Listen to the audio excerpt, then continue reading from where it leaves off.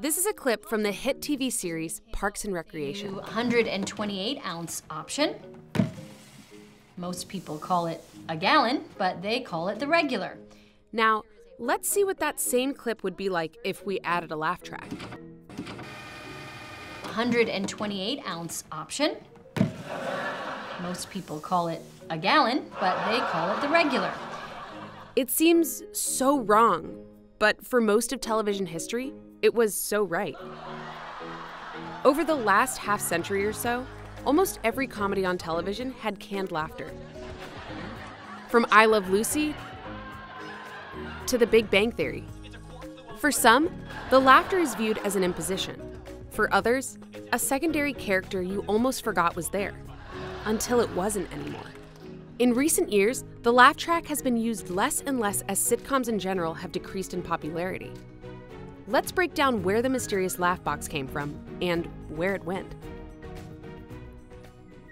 Before television existed, there was the ballet, the opera, magic, and comedy shows.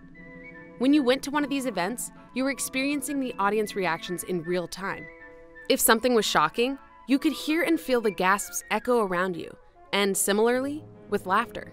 But then came the radio, the first ever broadcast medium. Those communal reactions disappeared as American families gathered in their living rooms to be entertained. Radio producers wanted to develop a way to give people the live experience at home. The first ever laugh track began with Bing Crosby's radio show. Recording pioneer Jack Mullin recalls the creation to Channels of Communication, a trade journal, in 1981. The hillbilly comic Bob Burns was on the show one time and threw a few of his then extremely racy and off color folksy farm stories into the show. We recorded it live, and they all got enormous laughs, but we couldn't use the jokes. So scriptwriter Bill Morrow asked us to save the laughs. A couple of weeks later, he had a show that wasn't very funny, and he insisted that we put in the salvaged laughs. Thus, the laugh track was born. Fast forward to the era of early television. Comedies were filmed with a single camera in front of a live audience. That meant that each scene would be filmed multiple times from multiple angles, instead of the multicams today, which have multiple cameras capturing one take. Those separate angles and takes would be cut together, and when that happened, the laughter was inconsistent. Audiences would laugh at the wrong time, too loudly, for too long, and were simply unreliable. In the late 1940s, CBS sound engineer Charley Douglass noticed those inconsistencies and couldn't take it anymore. If a joke didn't get a desired laugh, he would insert one with the use of a laugh track. This technique became known as sweetening. Douglass went so far as to create a physical laugh box. According to Ron Simon, curator of television and radio at the Paley Center for Media, the device was about three feet tall, the shape of a filing cabinet, very heavy, and had slots for 32 reels which could hold 10 laughs each. It was officially named the Audience Response Duplicator, but it became known as the Laugh Box. At its best, the Laugh Box could hold 320 laughs. Press them one at a time, and you get a ah. singular laugh. Press multiple keys at once, and a symphony of laughter would play.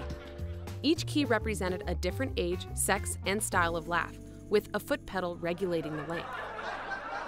The laugh box was mysterious, though. Since Douglass owned the patent and created all of them, nobody outside of him and his family members had ever seen the inside of the machine. And when Douglass wasn't around, the machine was kept tightly padlocked. In an interview with TV Guide in 1966, Dick Hobson said, If the laugh box should start acting strangely, the laugh boys wheel it into the men's room, locking the door behind them so no one can peek. I mentioned the name Charley Douglass, and it's like Cosa Nostra. Everybody starts whispering. It's the most taboo topic in TV. The first sitcom to use the laugh box was the short lived series The Hank McCune Show in 1950.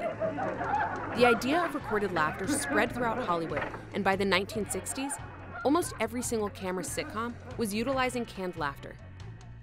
But it was only Douglass that engineered the laughing for everyone for almost a decade. For $100, Douglass would wheel the mysterious box to each studio on a dolly and sit with the producers in a screening room and decide what kind of laughter and when. Eventually, Douglass hired a second in command to keep up with the 100 hours of television he needed to sweeten, and the rest was history. Multicam sitcoms were popularized and shows like Friends, Frasier, Seinfeld, and more incorporated canned laughter. Shut up! Shut up! Shut up!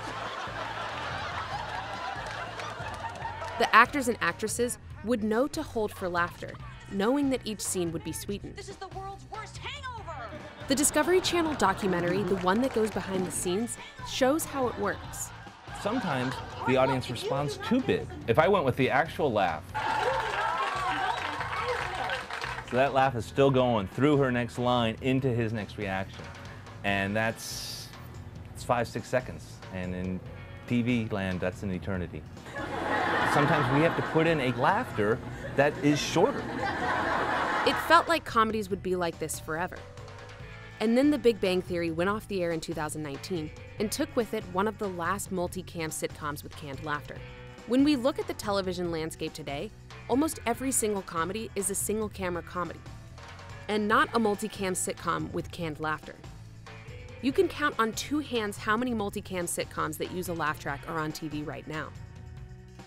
And not to mention those that went off the air this year. The use of the laugh track has almost disappeared completely from the TV lineup. So, what changed? Dead air in television used to be frowned upon, and shows would push for laugh tracks whenever possible. Bill Cosby claimed his first sitcom, The Bill Cosby Show, that ran from 1961 to 1971, failed because he had insisted on not using a laugh track. Not to be confused with the very successful The Cosby Show that aired in the 1980s and did have a laugh track.